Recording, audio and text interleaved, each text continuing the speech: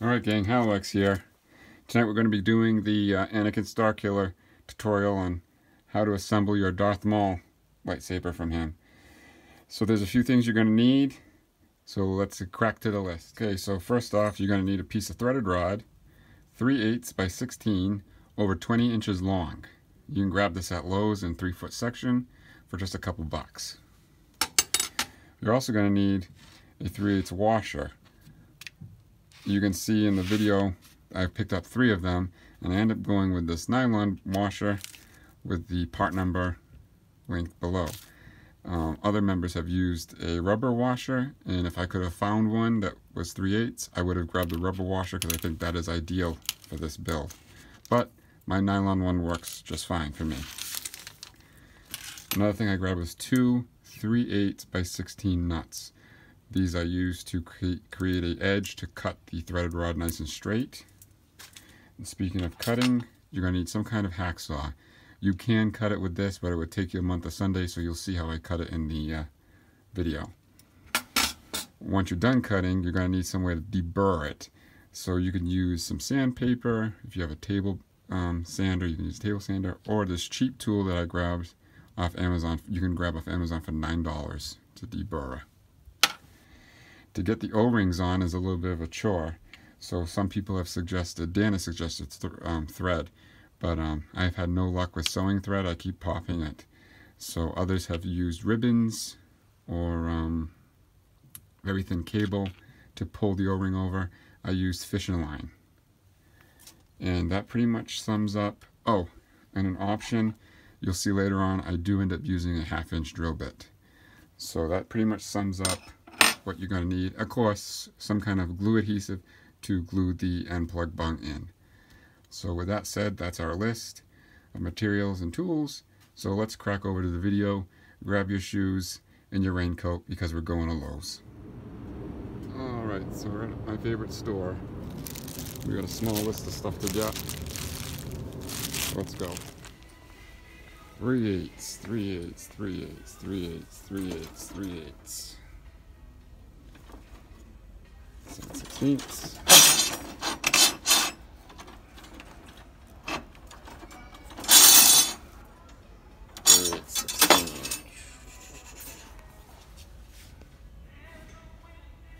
One down.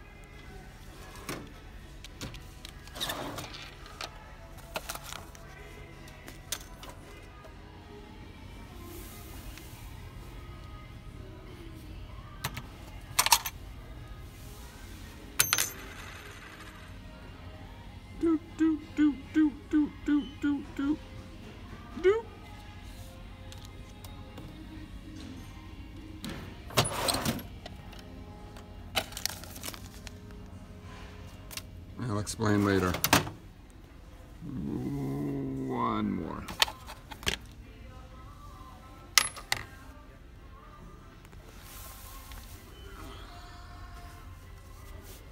Two.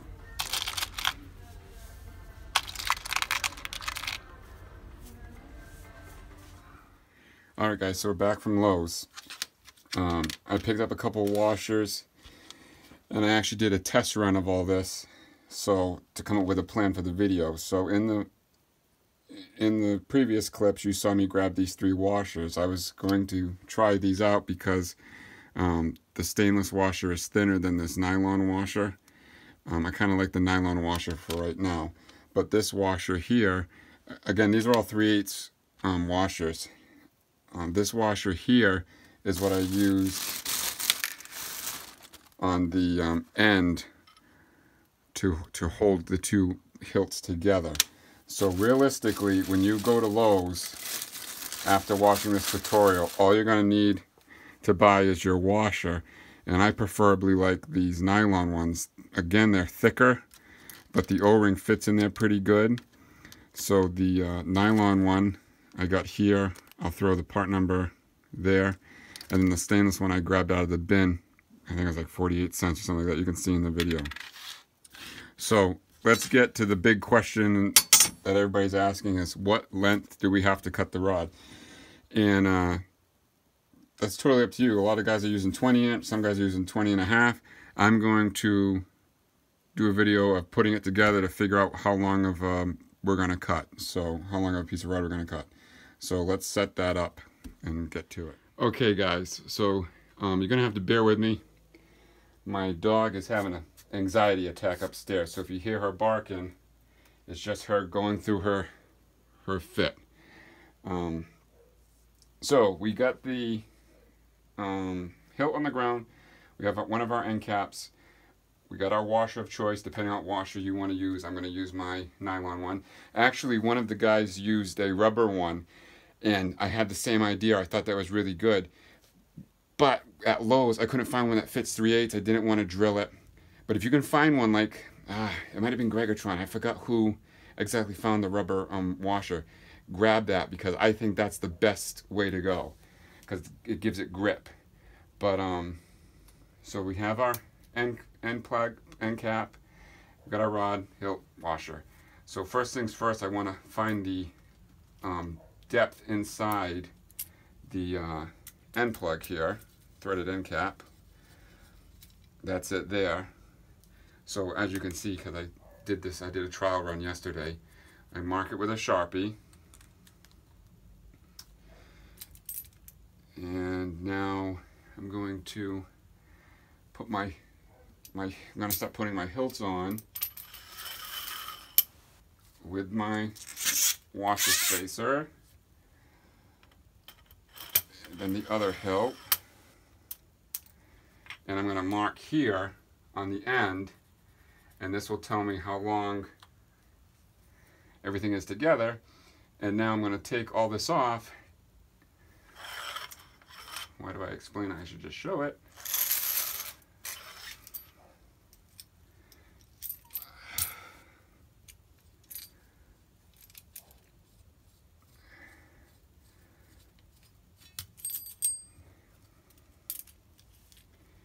And now if I measure this here, roughly three quarters, and add it to my overall measurement, that's going to give me the total length, which is 20 and 3 quarters. So, like someone else previously mentioned on the forum, I'm going to go with 20 and a half or 20 and 3 eighths. That way it will give me just enough room to tighten um, tighten down both end caps. Because if you bottom them out, if you max them out, you're not going to be able to tighten them all the way. So you want a little bit of extra room in the end cap so you can crank it together. So that's how we find the um, overall length. And I'm going with 20 and 3 eighths. Okay, so we're back in the shed.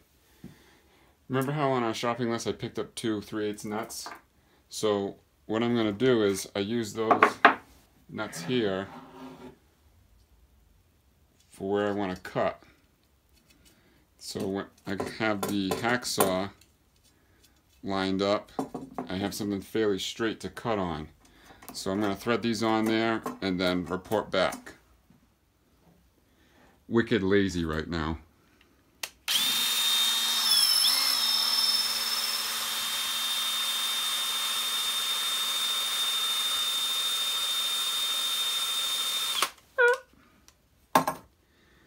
So we got our line here, putting the two nuts together, throw my washer on, and then lock it in the vise.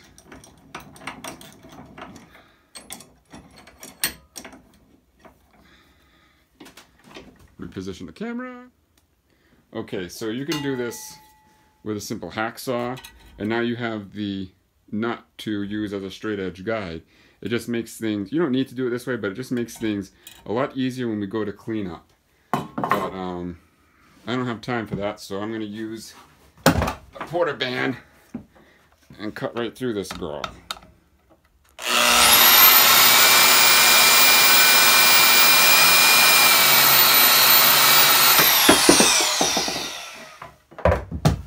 So now, this one thing that I learned is, especially when you have a nut on here, if you crank it this way, if you take it off, it helps get the burrs off there. So uh, it doesn't fix the thread but it helps the thread because sometimes now if you cut it straight and you go to put thread it on you can ruin it. But even by using the two nuts as a straight edge it threads on.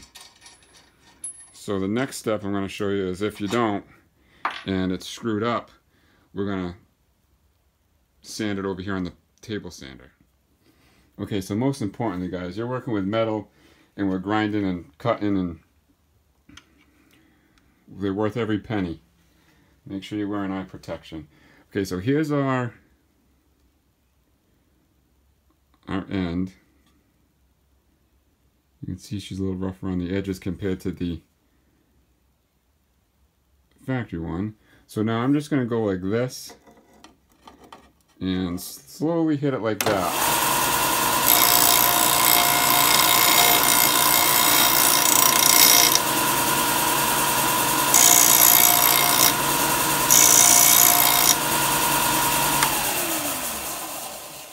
I'm going to give it a whirl. There's a little burr on the end there. I just took off with my hand. Okay, that feels good. Now one little tap on the face.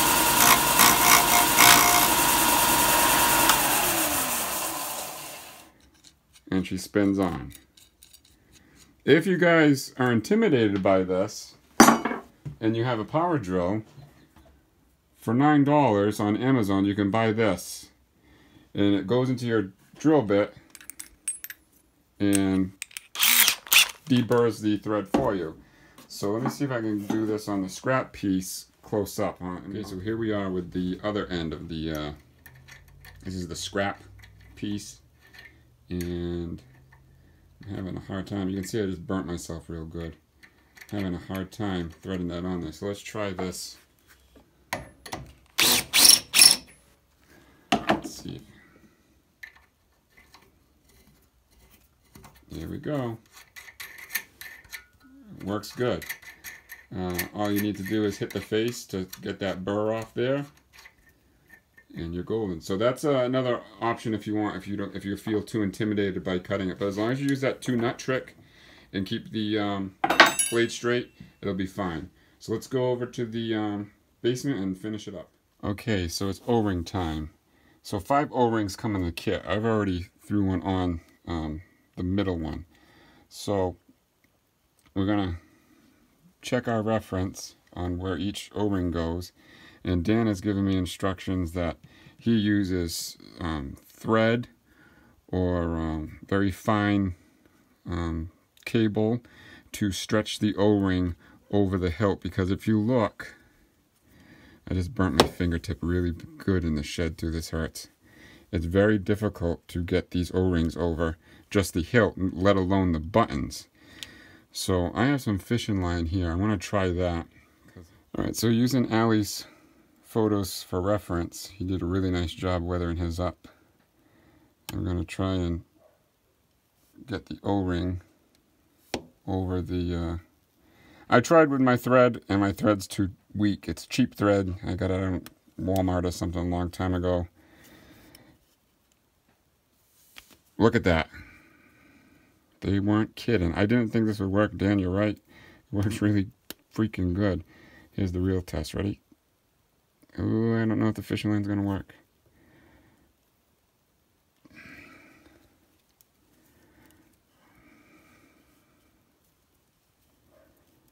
You can hear Ruby barking away. I have to apologize for that. Yep. Wow. Wicked. Wicked easy. Wow. The fishing line works. Four pound fishing line. Alright, so I'm going to try it the other, well, let's, I wonder if this will work, if I could just go over this way with it.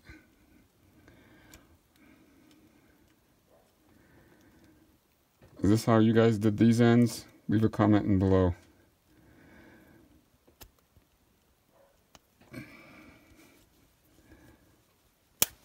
Yep, I thought I snapped it. Nope, that works good. Alright, so I'm going to do that for the, the, the rest of them. Actually, I got to take this one off now. Alright, I don't know if you need to see me do all those, but that's how you do it with the fishing line. If you have strong uh, sewing thread, that would work. Somebody on the forum did it with a, um, I gotta check my reference, I don't know if that's right. Somebody did it with a, uh, oh no, okay, yeah. With a ribbon, like a, I guess a ribbon from, like chicks would wear in their hair. Over that little LED. Come on. Yep. So, a little history behind this. Dan was explaining there wasn't a metal hero in episode one. They made a metal hero, or metal hilt for Darth Maul, but Ray Park didn't like how small it was and gave them some ideas on the next one. So they took the hilt, stretched it out, and then resin cast it with the rod in the middle. And then they cut the rod off and that's what they use for the belt hanger. So actually, these O-rings went on really, really easy with the fishing line trick. Uh, I don't see how, how, you can get them on over these buttons without it because it was a chore yesterday just stretching it over that. So now I think I'm going to have to go back to the floor over there and uh, put this together for the final go. Or is it the final go? I think so. If you happen to miss my unboxing video, I have the um, order put these in. So I'm just we'll do it again real quick. On a washer there is a perfectly flat side and then a beveled side. So I'm going to go with the perfectly flat side down like that. The middle spacer ones, I'm putting both bevels on each side so both sides are smooth. So we start off with one large, two medium, one large, two medium, one large, one medium, one small, one medium, one small, and one medium. That's how we do it. I'm to thread our rod in there. You can still see where the mark is. We'll pull hilt number one down. Actually, I'm going to undo it by two threads. Little washer. I didn't even get this in. Hilt number two. Just enough thread out there. And then this is our second end. Can we get this on there without spilling them all?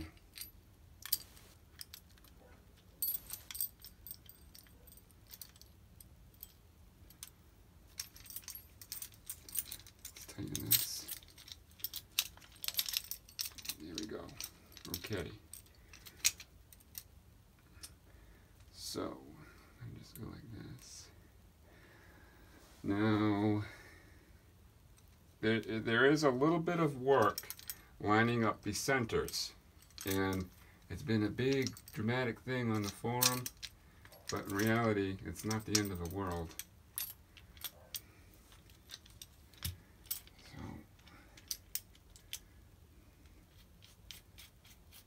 there we go. If you just move it around. Now, I cheated and I'll explain once I'm done. But there is a lot of wiggling and maneuvering you have to do, and I've made it very easy with my cheat mode here. But um, other people, reputable builders on there, just had their wife, significant other, or a kid help them with an extra set of hands pull the center together while you tighten it. So, just hold that there. Oh, I lost it. So now I go like this.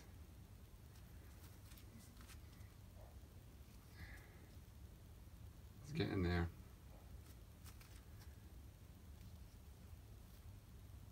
There we go. There's the Anakin Starkiller, Darth Maul hero. And it's heavy. You um once you weather the ends, this thing will look like uh, metal. It is bad. Oh, one last thing we have to do is glue the end plugs in. But let's bring it over to the bench and talk about it. Okay, so now with it all lined up and together, the last remaining thing you have to do is glue the two um, steel end caps in. Um, I'm probably going to use E6000 when that comes comes time. You just dab a little bit of E6000 in there and uh, glue it in.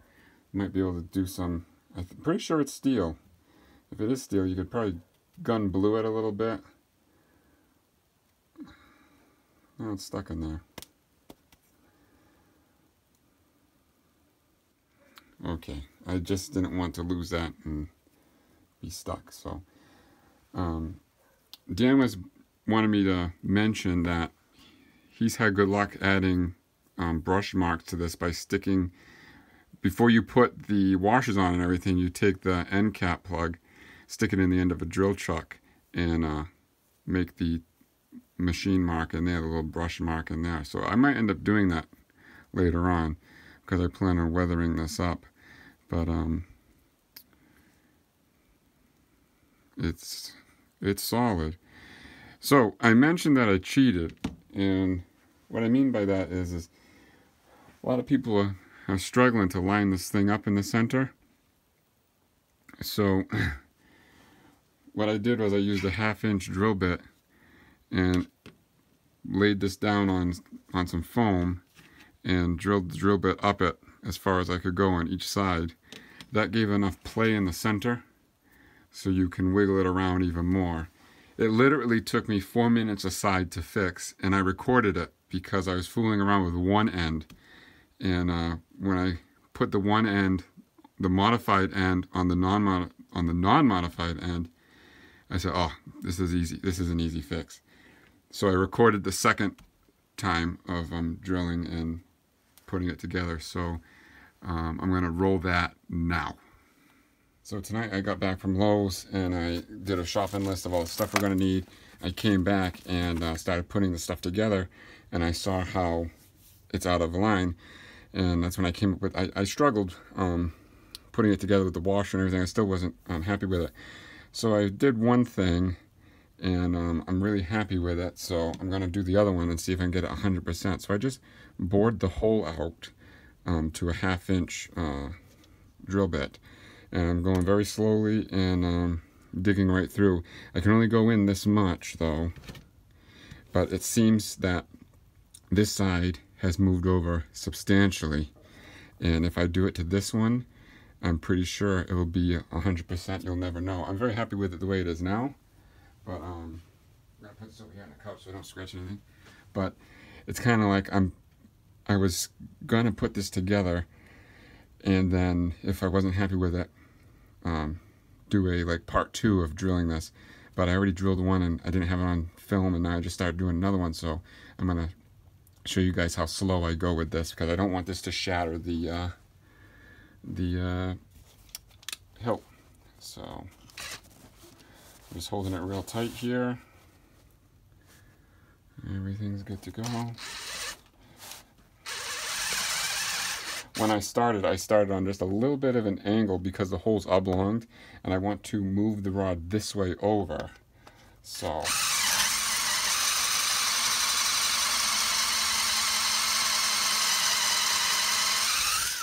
smells terrible.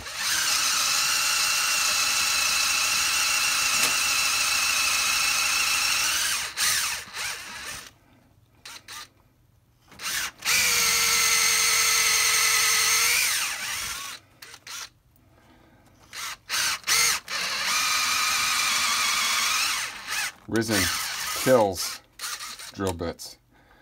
This is a steel drill bit. And the Resin kills it. It's incredible.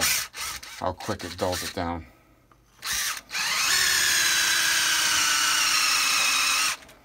Oh, battery's dying. Oh, dang it.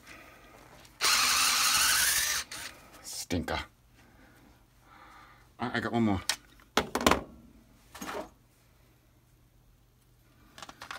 Full power, baby.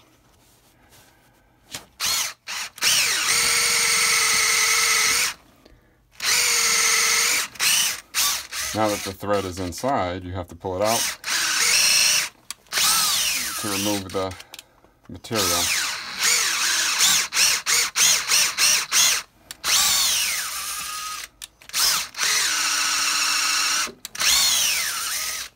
Okay, that should be enough. Stay tuned. Okay, so everybody who's panicking over this, check it out. All set. Just a little bit of a drill bit and you're good.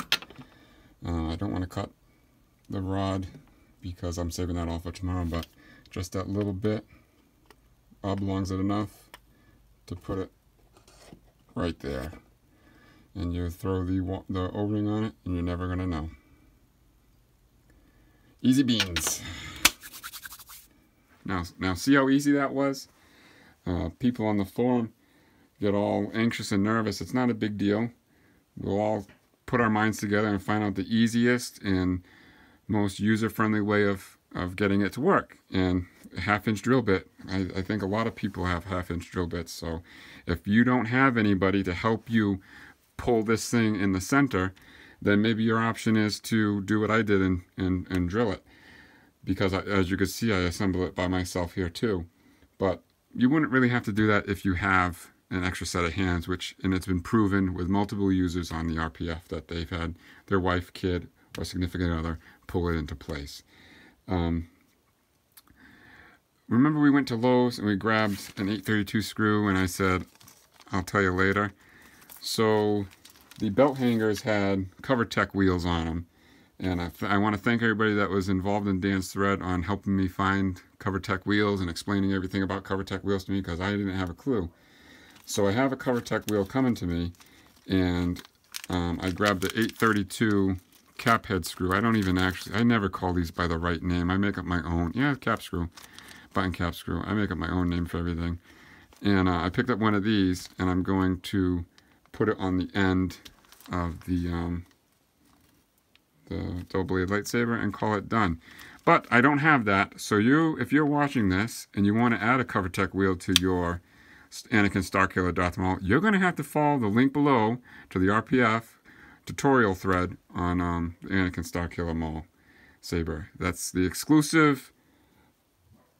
That's the exclusive link to the Covertec wheel.